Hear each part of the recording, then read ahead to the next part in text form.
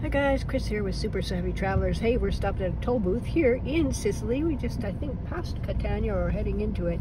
And that's Mount Etna up there. Now on the other side, we could see lava flows coming down toward um, the houses.